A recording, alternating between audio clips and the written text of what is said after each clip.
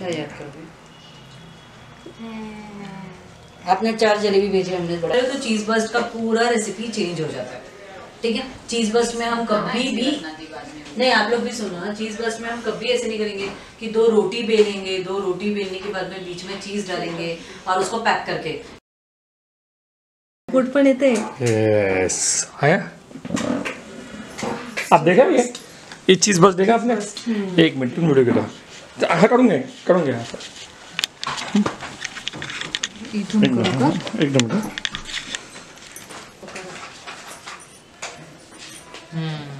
एकदम भारी। एक बार आपने डो बनाया ना तो फिर ये डिवाइड होता है आटा कि आपको कितने इंचेस का पिज्जा चाहिए।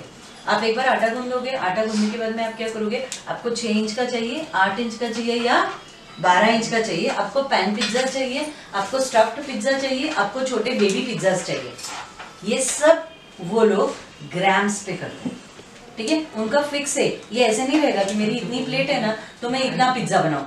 फिर मेरी पिज्जा प्लेट इससे थोड़ी बड़ी है ना नहीं तो ये बनाओ अच्छा मेरा तवा है ना तो मैं वैसे ही बनाऊँ।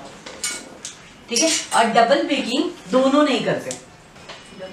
डबल पहले एक बार बेस बना लो फिर उसके ऊपर टॉपिंग्स डालो और फिर बेक करो। ये दोनों जन नहीं करते। या कोई भी कमर्शियल आउटलेट जो है वो डबल बेकिंग नहीं करेंगे। कमर्शियल जो भी करेगा वो सिंगल बेक में होता है। आप जब यहाँ जाते हो तो पिज्जा का टेस्ट ही इसलिए अच्छा आता है कि फ्रेश पिज्जा किया जाता है।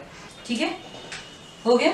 बिकॉज़ आपण नाही, पर वो लोग पानी भी उनका डिग्रीज मेजर करके लेते हैं की इस डिग्री पे पाणी रहेगा ना तर बरोबर। असं नसतं की मी कोमट पाणी घेऊ का मी थंड पाणी घेऊ का तुमच्या मनाने तुम्ही पाणी पण नाही घेऊ शकत।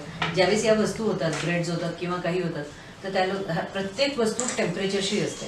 जो पिज्जा है आउटसाइड जब आप बाहर खाते हो तो सिर्फ़ ये जाली आपके पिज्जा की और ना कि ब्रेड जालीदार पिज्जा कभी नहीं है जब आप बाहर जाके खाते हो तो। हाँ, हाँ, हाँ,